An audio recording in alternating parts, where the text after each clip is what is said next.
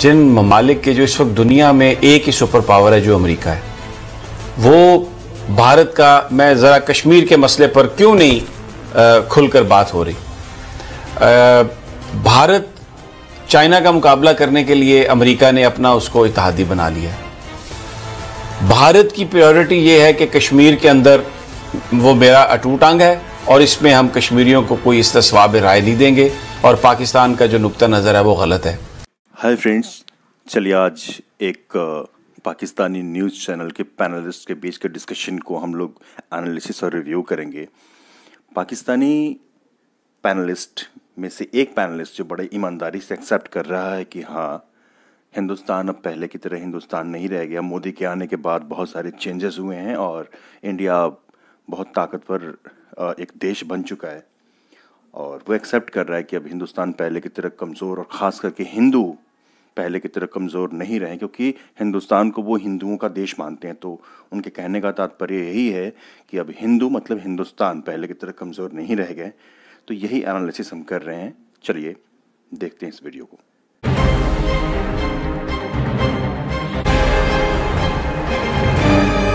Saudi अरब जो है, अब दर हकीकत वो अमेरिकन जो एक दोस्ती इंडिया की है और वो जो इन्फ्लुएंस इसराइल और अमेरिका का इस वक्त सऊदी अरब पर है, उसकी बुनियाद पर सऊदी अरब ये उज़र पेश कर रहा है कि हमारी जी वहाँ पर बहुत बड़ी इन्वेस्टमेंट है और आप ओ आई सी फॉरन मिनिस्टर्स कॉन्फ्रेंस ना कराएँ स्पेशल एक उसका हंगामी इजलास ना बुलाएँ। हम स्पीकर्स का इजलास बुला लेते हैं, हम कुछ और कमेटी का इजलास बुला लेते हैं। अब उसमें जब वो स्पीकर्स का इजलास बुलाते हैं तो उसमें वो सिर्फ़ कश्मीर पे नहीं बुलाते। उसमें वो साथ और दूसरे मामला भी ह्यूमन राइट्स के ले आते हैं। तो वो जो कुछ भी हो रहा है वो बुनियादी तौर पर इंडिया को और अमेरिका के इन्फ्लुएंस की वजह से ये लोग वो एक पॉइंट नहीं उठा पा रहे। अच्छा अब अब किसी के अब ये चैलेंज जो करना है ये चैलेंज तो आप जो एक अमेरिकन इनजस्टिस है इस खत्ते में उसके खिलाफ है ना ये चैलेंज इंडियन इनजस्टिस जो है उस पर आके ये बात नहीं करते। तो अब ये उसको कहना कि ये, इसको आप भले ब्लॉक समझें, इसको भले कुछ भी करें बट रियल जो कहानी है, वो तो यही है कि ये कश्मीर के अंदर जो जुल्म हो रहा है, उस पर जो नरेंद्र मोदी जो भारतीय एस्टेब्लिशमेंट की ओपिनियन है, अमेरिका उसको दुरुस्त तस्लीम करते हुए, जहाँ कहीं भी उसका इन्फ्लुएंस है, वो उसको दबाने की कोशिश कर रहा है। पाकिस्तान को दे रहे हैं लॉलीपॉप आईएमएफ के ज़रिए चार बिलियन दे दिए। सऊदी अरब ने भी देखा कि ये ऐसे लोग हैं, चले तीन बिलियन कैश दे दो। यूएई से भी दो बिलियन कैश दिलवा दिया। अच्छा भी आपको तेल सस्ता दे देते हैं। क्योंकि माजी में देखें फिर वो बात आती है। इसका ताल्लुक पाकिस्तान की सियासत से है राना साहब। माजी के हुक्मरानों ने पिछले 20 साल में इस हद तक इकोनॉमी पर कर्जे चढ़ाए इसीलिए चढ़ाए गए कर्जे कि आप इतने मजबूर हो जाएँ कि at the end of the day आप कश्मीर को भी गिव इन करें आप न्यूक्लियर प्रोग्राम को भी गिव इन करें क्योंकि आपका सर्वाइवल ही नहीं रहेगा। एजेंडा तो उनका यही था। अब एजेंडा यही है।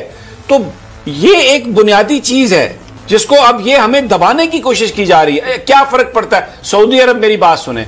सऊदी अरब ने साढ़े चार सौ बिलियन डॉलर का असला लिया है अमेरिका से।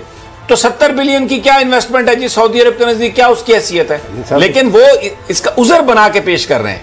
इस इस इन्वेस्टमेंट की कोई हैसियत नहीं है। मसला ये है जो देखें मैं बात जो कर रहा था कि ये जो तीन ममालिक हैं पाकिस्तान मलेशिया तुर्की इनके सरबराहों की जो कोशिश है, जो बात आप कह रहे हैं कि आलम इस्लाम की ये जो कमजोरियाँ हैं, जिनको मगरब इस्तेमाल करता है, कि ये वही इनकी सूरत हाल जिस तरीके से आपने अभी बात की कि जो इस्लामी कॉन्फ्रेंस की एक अहमियत थी।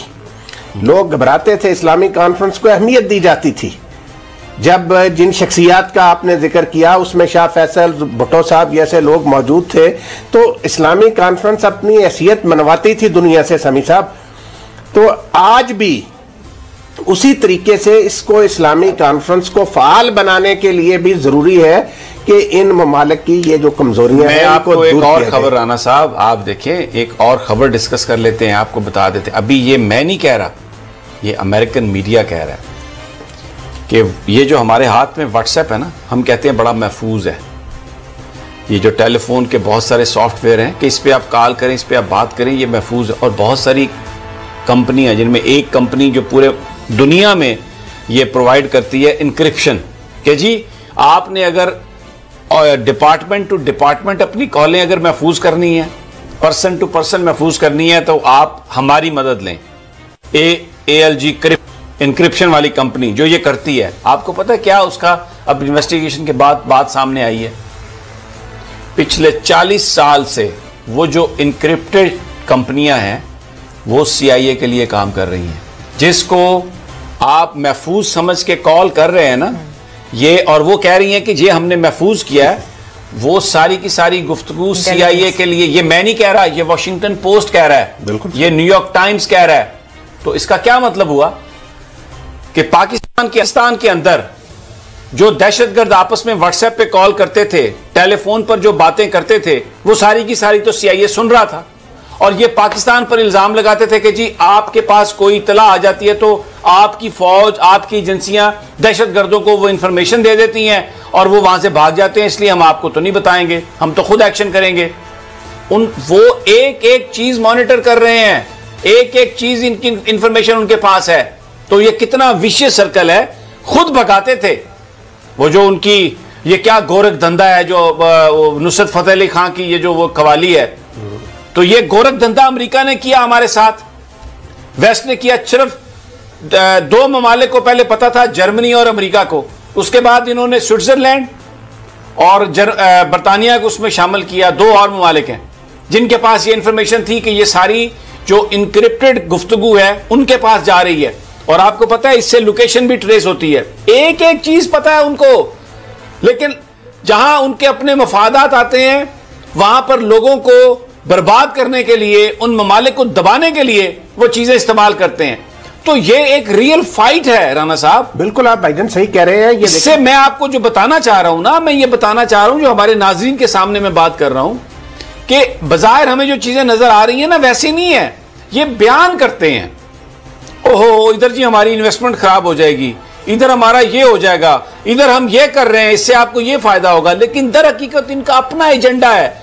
जैसे आप मूवीज़ में देखते हैं ड्रामों में आपने देखा कि गाँव का जो चौधरी होता है वो चोर को भी सपोर्ट कर रहा होता है थानेदार को भी सपोर्ट कर रहा होता है मुलजम को भी मुद्दई को भी अपनी चौधराहट के लिए सारे काम। तो ये हमारे साथ गेम हो रहा है।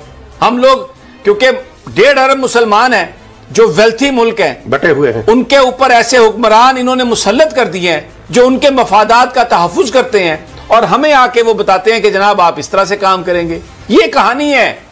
राना साहब ये है कहानी। ये भाईजान ये जो मोदी बदकार है इसने जो ताज़ा वारदात की है उस पर देखे ना कि जो मुसलमान शहरियत का वो नाम निहाद सबूत फ्राहम नहीं कर सके इसने उनकी जायदादें बेचने का हुक्म दे दिया है और उसका आगाज़ वेस्ट बंगाल से कर रहा है।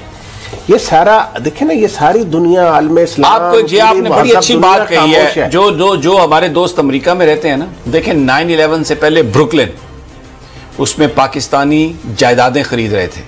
पाकिस्तान फ्लरिश कर रहा था। आपको मैं बताऊँ, कोनी आइलैंड एवेन्यू पे आप जब शाम को जाते थे ना राना साहब तो आपको ऐसे लगता था कि जैसे आप अनारकली में आ गए। खुदाई कसम, जैसे आप कराची सदर में चले गए। वहाँ पर इतनी रौनक थी, पाकिस्तानी फैमिलीज़, पाकिस्तानी बिजनेसेस, और वहाँ पे जो वो, वहाँ पे ऑर्थोडॉक्स यहूदियों का भी वो गढ़ है। वहाँ पर वो प्रॉपर्टी जिसको यहूदी नहीं खरीद पा रहे थे, वो पाकिस्तानी खरीद रहे थे। इतना इन्फ्लुएंस बढ़ रहा था, मुझे नहीं पता ये किसने किया नाइन इलेवन लेकिन उसके बाद क्या हुआ? वहाँ पर वो सारे बिजनेसेस खत्म। पाकिस्तानियों को जिस अंदाज में वहाँ पे पकड़ा